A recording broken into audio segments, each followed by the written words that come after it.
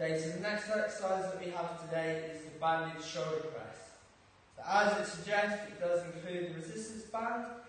What we're going to look to do, place that one down on the floor, still holding the top of it, about shoulders width apart with your feet. From here we've got the rest of the band, so what you're going to look to do is if you were holding onto it, palms facing down, bring your elbows through, so just as you were setting up for a front rack position, still got the band the palms are facing up towards the sky, Okay, from here, we're going to look to drive those arms up, finishing with the arms locked out above the head.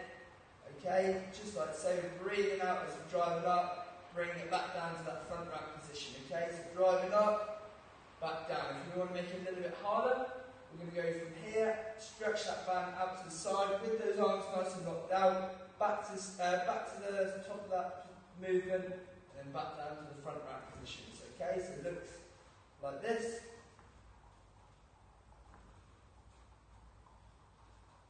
Okay, so that's what the banded shoulder press looks like. We also have the banded uh, squat and press or thruster. So still setting up as if you would for a banded shoulder press.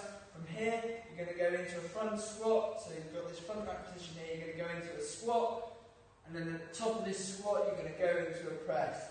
Okay, so you're using that momentum at the top of the squat drive those arms up above head. Again, if you want to make it harder, the top, take back to side, back, and back down into the squat, okay? So that's what the squat and press looks like with the band, and the first one was the shoulder press.